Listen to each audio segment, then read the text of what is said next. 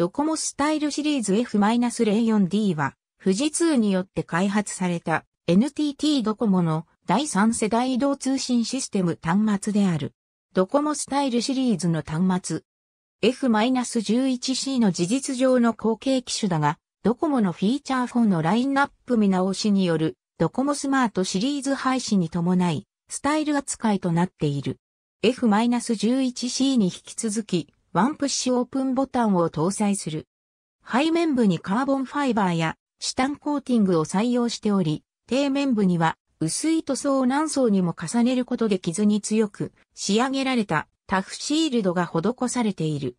カルボンブラックに関しては本物のカーボンファイバーを素材に使用しており、他のカラーバリエーションよりも軽量化されている。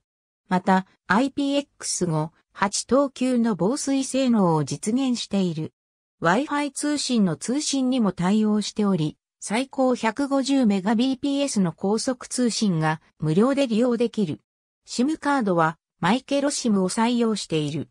カルボンブラックのみ 105g 対応プロファイル、HSP、HFP、DAN、OPP、A2DP、AVRCP、SPP、HID、BIP、HDP 報道発表資料、ドコモスタイルシリーズ F-04D を発売、お知らせ NTT ドコモ。ありがとうございます。